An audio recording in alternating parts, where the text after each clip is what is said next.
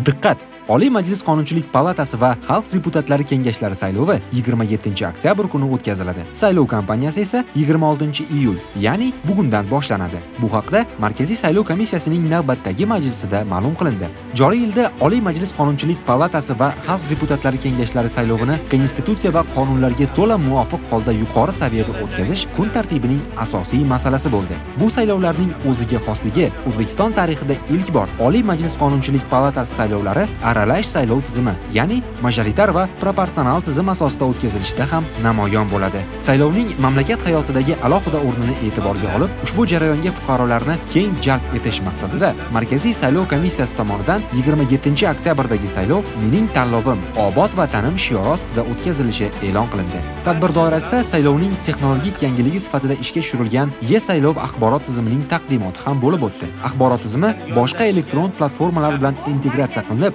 saylovdagi ko'pgina tartib tamoyillar inson omilisiz to'liq avtomatlashtirilgan tarzda amalga oshiriladi. Qayd etilishicha e saylov axborot tizimi saylovlarni texnologik va ochiqlik jihatidan mutlaqo yangi bosqichga olib chiqmoqda.